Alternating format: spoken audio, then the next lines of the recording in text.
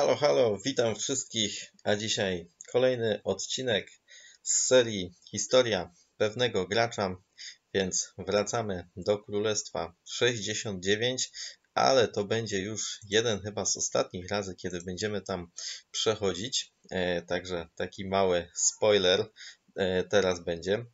E, jeśli chodzi o Królestwo 69, ostatnio skończyłem na tym, jak dobrze mi się żyło w TF, i generalnie było całkiem nieźle, tak? Robiłem sobie nowych dowódców. E, kiedy chciałem walczyć, to zazwyczaj teleportowałem się do tych niższych stref, żeby walczyć e, z, z innymi sojuszami, ponieważ z tymi najmocniejszymi sojuszami nie bardzo miałem szansę walczyć. Czasem robiliśmy sobie takie duele 1 na 1, 5 na 5, jakieś turnieje, to było wtedy normalne, ponieważ wtedy nie było KVK, więc e, te surowce, że tak powiem, nie były aż takie ważne. Pamiętam, że jeden był taki gracz, który na początku mi sporo pomagał, ale później zrobił się bardzo uciążliwy, czyli na przykład jak ja sobie z kimś robiłem jakiś duel, e, to on później zaczynał atakować, bo mieliśmy takie zasady, że, że to teoretycznie było e, dozwolone, no ale to wiecie, to było takie wredne po prostu, tym bardziej, że on był z naszego sojuszu, ja bym zrozumiał, gdyby on był na przykład z SKT, natomiast on był z naszego sojuszu i cały czas te jakieś takie fajne akcje, które żeśmy sobie tam robili, nam psuł i mnie to strasznie irytowało, to jego takie buractwo po prostu. Natomiast pecha miałem takiego, że on miał wymaksowane albo blisko maksa marsz Ryszard i Charles Martel, którego ja nijak nie mogłem zaatakować, żeby, żeby po prostu nie zostać zniszczonym, bo głównie grałem kawalerią. Wydaje mi się, że wtedy miałem Saladyna już, ale go używałem raczej z Double C. No i to nie był marsz, którym mogłem zaatakować tego Ryszarda, więc on mnie strasznie irytował i, i irytował mnie strasznie właśnie ten jego Ryszard. I myślę, że gdzieś tam po części to, że poszedłem w łuczników, mogło, było na pewno trochę związane z tym, że, że właśnie tego marszu Martel i Richard strasznie nie lubiłem i chciałem mieć coś, żeby ich pokonać. Dobrze, ale dzisiejszy odcinek nie będzie tak dużo o mnie. Opowiem Wam, jaka była mniej więcej sytuacja. Jeśli chodzi o, o tą strefę trzecią, tu gdzie jest świątynia, były tutaj głównie trzy sojusze. TF, największy i najlepszy, SKT drugi, podobny jeśli chodzi o siłę, natomiast dużo słabszy jeśli chodzi o wszystko inne. I mieliśmy też tutaj sojusz, przepraszam, TF było bardziej z tej strony na dole, y, na południu. Tutaj mieliśmy y, taki sojusz y, C, tam gdzie była Baby i tak dalej. No i było jeszcze te YY, które cały czas było silne, natomiast oni byli poza strefą trzecią. Natomiast po tej wojnie y, tutaj, y, która była między TF i YY, więcej nic takiego się nie działo. Aż w pewnym momencie y, otwarła się migracja, była ona dostępna i ja wiecie, ja wtedy byłem prostym żołnierzem, nie miałem nic pojęcia, co się dzieje w dyplomacji. Natomiast wydaje mi się, że gdzieś tam w dyplomacji, w tych wszystkich czatach i tak dalej, YY chciało po prostu emigrować w całości. Natomiast zanim oni jeszcze e, emigrowali, postanowili, że tak powiem, wyzwać e, ten sojusz SKT i stoczyć z nimi bitwę jeden na jednego, ponieważ oni chcieli po prostu udowodnić, że SKT jest słabe. SKT wtedy miało o wiele lepszą pozycję, wiele lepszych graczy, mieli też rodzinę lepszą sojuszy. YY przy nich to był naprawdę już wtedy taki, że tak powiem, kopciuszek. Natomiast kiedy doszło do walki, a oni gdzieś tutaj walczyli w drugiej strefie, to SKT zostało po prostu zmiażdżone. YY ich po prostu no, wygrywali z nimi jak chcieli na każdej strefie. Oni w, niemalże wyczyścili SKT z drugiej strefy i naprawdę szło im fantastycznie. SKT okazało się naprawdę takim kolosem na glinianych nogach i to, że myśmy się cały czas nie śmiali, że to są farmerzy, to naprawdę wtedy wyszło bardzo mocno i ich umiejętności walki były naprawdę bardzo słabe. Kiedy ja podejrzewam, że jak liderzy TF to zobaczyli, to zaczynali się mocno zastanawiać, czy ten nasz sojusz z SKT to jest w ogóle dobry pomysł, bo już się gdzieś tam przebąkiwało, że zbliża się do nas właśnie e, to KVK. Problem zaczynał się pojawiać wtedy, kiedy YY tak mocno wyparło SKT, że zaczynali po prostu terytorium wchodzić do trzeciej strefy. I tutaj zdarzyło się coś, czego bardzo żałuję, jeśli chodzi o Królestwo 6.9, bo był taki moment, że YY naprawdę byli bardzo blisko zniszczenia po prostu SKT i oni by ich zniszczyli sami. I wydaje mi się, że TF miał takie podejście, że nie interweniujemy i jeżeli YY zniszczy SKT, to my po prostu przejdziemy nad tym do porządku dziennego. I to była naprawdę fantastyczna sytuacja. Natomiast część tej naszej grupy leadership z TF nie wiedzieć po co zaczęła też atakować w pewnym momencie SKT. I to dla niektórych e, graczy z Azji, którzy wiecie, byli znajomymi często tych graczy e, z SKT, gdzieś tam się znali w prawdziwym życiu, dla nich to już było za dużo. Oni wtedy jako że byli najsilniejszymi graczami w naszym sojuszu, na przykład Raiden, o którym mówiłem wcześniej, oni stwierdzili, że o nie, tak to nie będzie i stwierdzili, że ta część e, tego naszego leadershipu popełniła duży błąd i oni z kolei zaczęli pomagać SKT. No a że mieli większy, że tak powiem, posłuch w całym sojuszu, to nagle się stało tak, że znowu TF zaczęło pomagać SKT. Kiedy YY to zobaczyli, to tam nawet już nie walczyli długo i oni tak naprawdę w tym momencie zaczęli emigrację. Także bardzo szkoda, bo myślę, że gdyby YY i TF zostali razem na tej mapie i w tym Królestwie 69, to ono naprawdę by sobie dobrze radziło, ponieważ ITF i YY to były dwa sojusze takie naprawdę i mocne i miały naprawdę bardzo dobrych, że tak powiem, wojowników. Niestety YY emigrowało w różne strony. Wielu z nich przeszło do największego królestwa i sojuszu na tamten moment, czyli JWM. Oni byli później znani z tego, że przegrywali finały Ligi Ozyrysa, tak, ale byli naprawdę ogromną siłą i, i ogromnym królestwem. Ci niektórzy gracze, którzy od nas wyemigrowali, byli tam liderami nawet w tych zespołach, także to też pokazuje to, że te Królestwo 69 było naprawdę mocne i mieliśmy dużo bardzo dobrych graczy.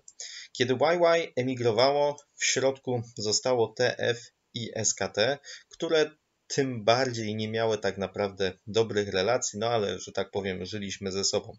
Oprócz tego e, ten sojusz C też gracze, że tak powiem, najwięksi e, z Baby włącznie zaczęli migrować z tego sojuszu i stał się on takim jeszcze mniejszym sojuszem. Kiedy stał się jeszcze mniejszym sojuszem, to ci gracze, którzy jeszcze, że tak powiem, chcieli czegoś więcej, zaczęli przechodzić do nas, do TF. Była taka, e, taki mariaż między tymi dwoma zespołami i w zasadzie ten sojusz C był, był jakby powiedzieć w rodzinie TF, tak? Byliśmy, byliśmy tutaj razem.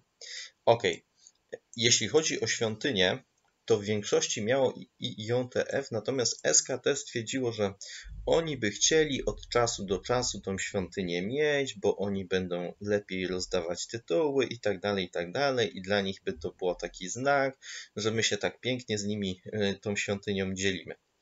My w TF nie mieliśmy z tym problemu, znaczy niektórzy oczywiście mieli problem z ego, tak, że ktoś tam nie będzie królem na jakiś czas, no ale była umowa i w takim razie tą świątynią żeśmy się dzielili. Natomiast była też umowa, że wiadomo, jeżeli ktoś będzie chciał migrować do naszego królestwa, to będziemy się o tym informować.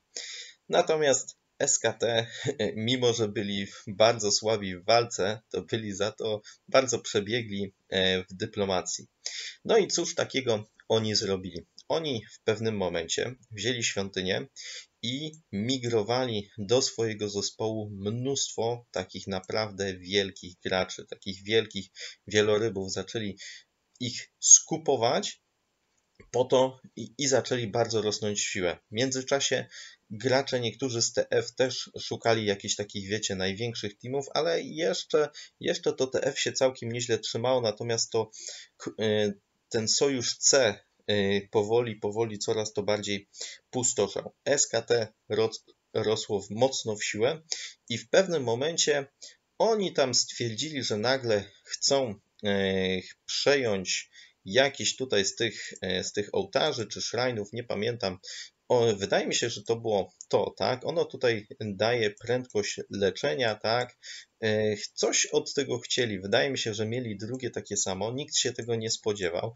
Wydawało się to w ogóle bez sensu, po co oni to chcą, tak?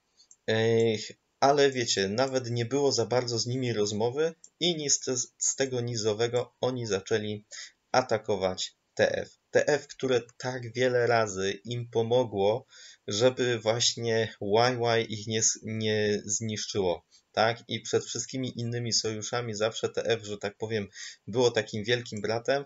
No ale tak jak mówię, e, SKT było bardzo przebiegłe. Oni nawet przekonali tych niektórych mniejszych graczy z tego sojuszu C, że TF jest złe i żeby do nich dołączyli i toczyli takie, że tak powiem, potajemne rozmowy niemalże z całym królestwem, po to, żeby wszyscy właśnie napadli na TF.